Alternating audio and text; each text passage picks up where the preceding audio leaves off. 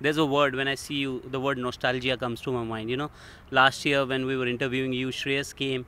He was kind of mimicking you from the back. You remember? Yeah, I do.